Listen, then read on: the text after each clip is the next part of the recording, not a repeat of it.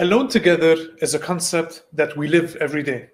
We're together, yet we're alone. There's a book called Alone Together, and my favorite Banksy piece of art captures it so well. Look here about how the couple are together, right? So they're very close to each other. They're in a warm embrace, yet they're so far apart. They're gazing at each other, yet they have an eye that is on to their mobile device. Alone together if you look around you in any social setting, dinner, social gathering, hotel lobby, you will see that we're together, but we're curious and longing for what is not with us at the moment. Um, a few weeks in, uh, a few weekends ago, um, uh, I had a weekend with family and friends and so on. Very nice setup with kids and activities and so on.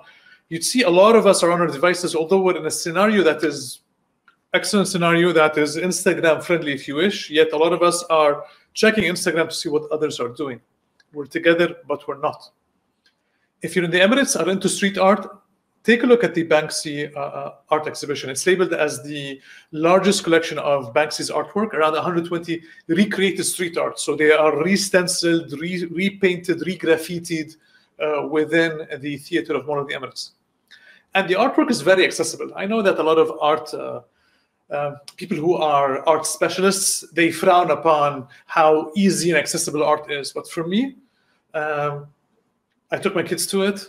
Um, they'd be spending time on youtube right so i'd rather have that uh, accessible commercial uh, uh art uh, that the uh, art specialists uh, usually look down on because i was able to enjoy it i was able to take my family to it I do a video thing with my kids. Obviously, I'm a fan of video.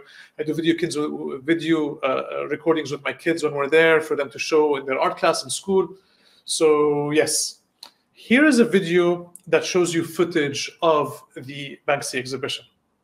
The largest collection of Banksy's artwork is in one place at Mall of the Emirates in Dubai. It's a combination of stencils, paintings, and videos explaining his artwork. Walking through, all I could think about is brand the brand that Banksy has built. And I'm thinking about businesses. As businesses, we look at brand as logos and colors and theoretical high level things. The brand that is built over time helps garner people's attention. And then when there's a call to action, here we are. This is an unofficial exhibit. We're here to attend and participate.